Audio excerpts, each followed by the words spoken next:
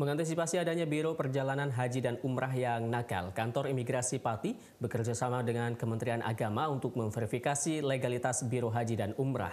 Langkah ini dilakukan untuk mencegah terulangnya kejadian jemaah haji Indonesia yang terjebak di negara Filipina.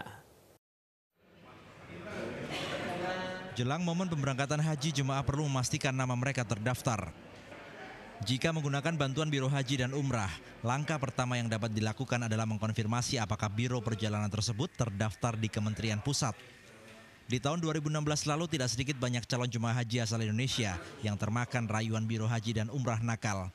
Dengan iming-iming biaya haji yang lebih murah, cepat, dan tidak ribet, calon jemaah harus gigit jari karena tidak jadi berangkat ke Tanah Suci dan terlantar di Filipina. Mengantisipasi hal serupa, Dirjen Imigrasi mewajibkan kepada setiap calon jemaah haji yang akan membuat paspor harus melampirkan surat rekomendasi dari Biro Perjalanan dan Kementerian Agama. Diharapkan dengan adanya surat rekomendasi tersebut dapat meminimalkan adanya biro-biro haji nakal yang menjanjikan berangkat haji atau umrah secara tidak bertanggung jawab. Kita bekerja sama dengan Kementerian Agama menerbitkan surat rekomendasi bagi calon jemaah tersebut.